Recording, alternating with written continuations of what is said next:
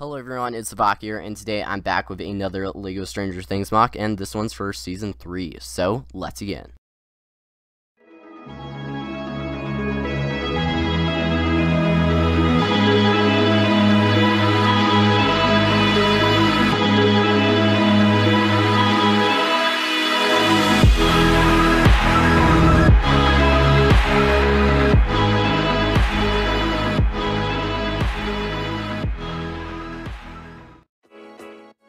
So starting off this MOC and really the main part of it is the season 3 monster right here and that is really the whole reason why I built this but this actual build is based off a scene that you see from the first season 3 trailer right here with Jonathan standing in some sort of hallway, maybe in Hawkins' lab or a hospital, or maybe Starcourt, not really sure, but you see the Season 3 monster right there, and I just really wanted to recreate that. And starting off with the best part of the build here, it is the Season 3 monster, and you see that a lot in the trailers, and it just looks really cool and scary, and I wanted to rebuild it. So, once again, we don't really know the name of it. It's probably going to be named something from Dungeons and Dragons, because that seems to be the naming theme that they're going with, or that they've went with for the last two seasons.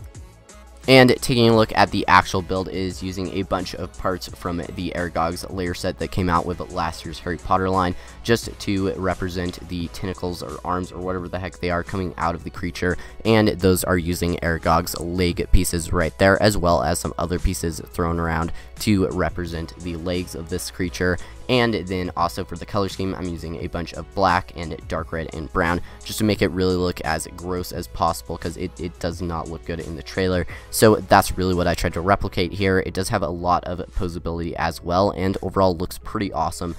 And if you'd like to see a build tutorial on this, I will do it, so just leave a comment down below. To go along with the build, just to make it a bit more interesting, I also built this custom Jonathan Byers from Season 3, and he just has on a blue t-shirt and then some tan pants as well as a face print that I think looks pretty good for him, and then he also has Luke's hairpiece in a different color, and overall I think it turned out pretty good. For the actual hallway, there is enough room to place both the Season 3 monster and also Jonathan right there, and overall it definitely adds for a pretty awesome look. And taking a look at the build for the hallway, it is definitely pretty simple, especially in the color scheme, using white, light gray, dark gray, and then also some brown and nougat thrown in there just to add a bit more color to it. But it definitely gets the look across, and it looks pretty nice. I've tiled off the entire thing with a bunch of white and light gray tiles, and then for a couple extra details, there is a lamp as well as a ladder. And that's pretty much it for this video guys, so I really hope you did enjoy it. I know the MOC is pretty simple, but the main part of it is that Season 3 monster, which I really love how it turned out. Once again, if you guys do want to see a tutorial on that, I will do it. Just leave a comment down below, and thank you all so much for watching. Like, comment, and subscribe for brand new LEGO content, and I'll see y'all later. Bye.